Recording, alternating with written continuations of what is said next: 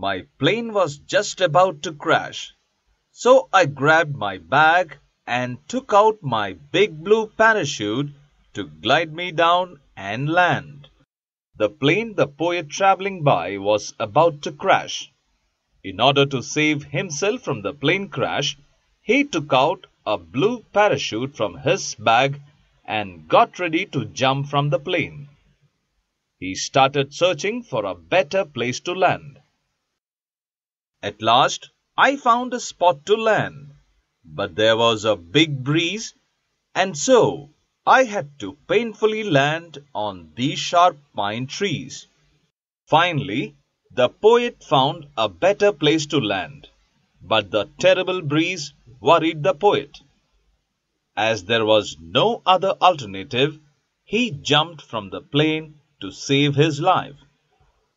With a great pain, he landed on sharp pine trees. I was then filled with bruises as a pine fell on my ear. I sat down on the ground to rest.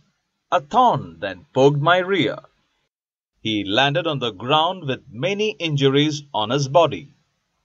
He got hurt as a pine fell on his ear. As he was tired, anxious, and distressed, he felt relieved after landing on the ground and took rest for some time.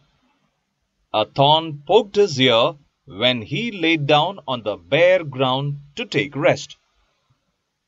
He slowly fell asleep despite the mental instability caused due to the unhappy events that occurred.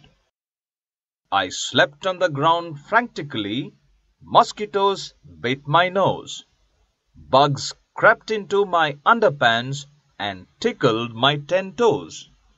The conditions did not let him sleep comfortably, with mosquitoes biting him on his nose, bugs creeping all over his body and tickling his toes disturbed his sleep.